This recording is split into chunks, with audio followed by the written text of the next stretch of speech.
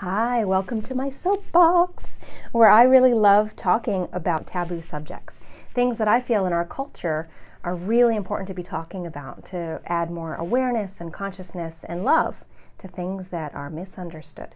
So, PMS is what I want to talk about today. PMS gets a bad rap.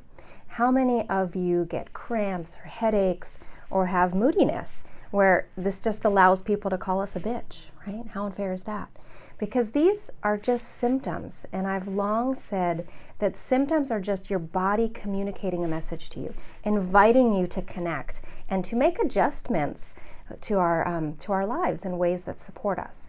So, historically, when a woman bleeds, this is an incredibly sacred time.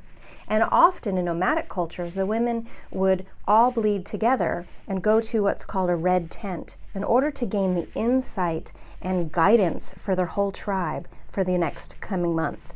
So they'd come back to the tribe and they might say, okay, in, in two nights we will see a hawk on a rock and we will go east. And all the men and all of the, the elders really honored this wisdom of the women. So, how did we get so far away from that? And in, in Ayurveda, when a woman bleeds, we wouldn't cook for ourselves. We didn't, wouldn't do manual labor. There's a support and a reverence and an awareness that the veils are more thin. We don't have as many defenses to or barriers to be able to protect ourselves in a vulnerable time against what is in many ways a harsh world that we live in right? If we weren't subjected to fluorescent lighting, we would all bleed according to the moon cycles on a 28 day cycle. And if we didn't, then we would know that there's a health issue.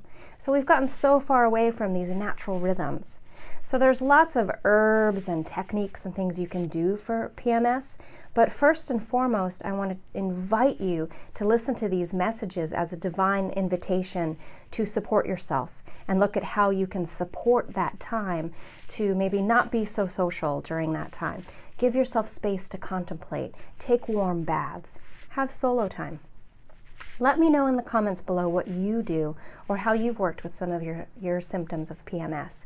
And look for my blogs and other videos on some other health techniques with herbs and that type of thing.